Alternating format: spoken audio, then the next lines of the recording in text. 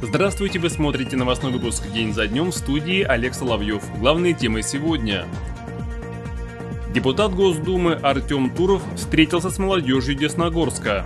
Технологии никуда не деть, мы не возьмем, там, не закроем, там, извиняюсь, ни ТикТок, там, ни Инстаграм, ни какие-то другие вещи, потому что, ну, это уже современный мир, без этого, этим надо уметь пользоваться. Спорт снимают с карантина. Десногорске вновь открываются спортивные секции. Баскетбол, потому что это интересная игра, быстрая игра и игра с мячом. Мне нравится просто игра с мячом. В рамках региональной недели депутат Госдумы Артем Туров провел встречу с молодежью Десногорска, молодыми атомщиками, членами молодежного совета, молодой гвардии и активистами города. Встреча прошла 3 февраля в местной приемной партии «Единая Россия» в Центральной библиотеке. Вот сегодняшняя встреча, мы просто на самом деле хотели поговорить, узнать, какие есть, может быть, вопросы, в том числе и к нам, по тем проблематикам, которые существуют, что, может быть, на ваш взгляд, необходимо выносить на какой-то федеральный уровень.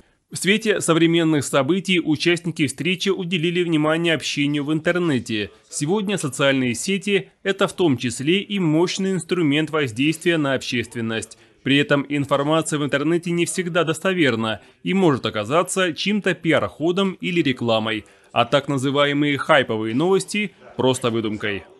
Технологии никуда не деть, мы не возьмем, там, не закроем, там, я извиняюсь, ни ТикТок, там, ни Инстаграм, ни какие-то другие вещи, потому что, ну, это уже современный мир, без этого, этим надо уметь пользоваться в том числе. И вопрос в том просто, как это воспринимать.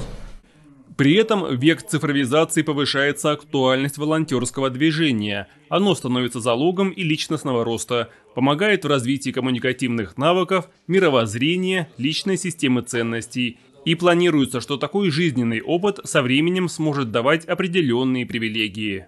Твой вот этот социальный бэкграунд, который у тебя там выработан, например, там за школу или институт, что он будет храниться в ИАС-система вот «Молодежь России», которая будет интегрирована с госуслугами.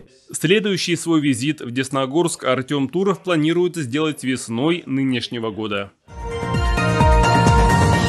О криминальной обстановке в городе расскажет начальник тыла отдела МВД по городу Десногорску Светлана Романова. За прошедшую неделю в дежурную часть поступило 90 сообщений о происшествиях. Из них два сообщения о преступлениях. Зарегистрировано три дорожно-транспортных происшествия с техническими повреждениями. Выявлено 96 административных правонарушений, в том числе нарушений правил дорожного движения 83. За управление транспортным средством в состоянии алкогольного опьянения к ответственности привлечены два человека. За распитие спиртных напитков, а также появление в состоянии алкогольного опьянения в общественных местах к административной ответственности привлечены пять человек.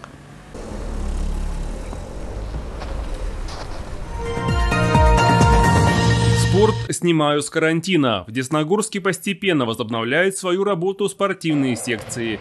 Двери в них были закрыты больше полугода. Такой перерыв стал испытанием, в том числе и для юных спортсменов. Вернуться к своему увлечению ребята смогли 13 января нынешнего года. Баскетбол, потому что это интересная игра, быстрая игра и игра с мячом. Мне нравится просто игра с мячом.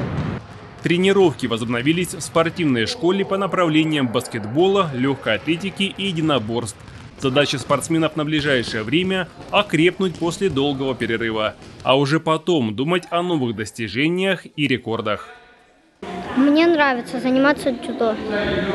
Мне нравится заниматься тоже дзюдо.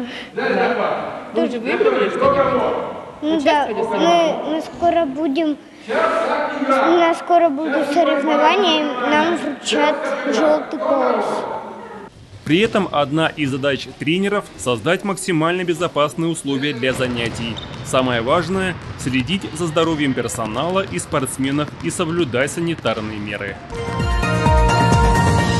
В конце выпуска о погоде. 9 февраля в Десногорске пасмурно и сильный снег. Днем минус 13, ночью будет минус 16. На сегодня выпуск завершен. Всего доброго.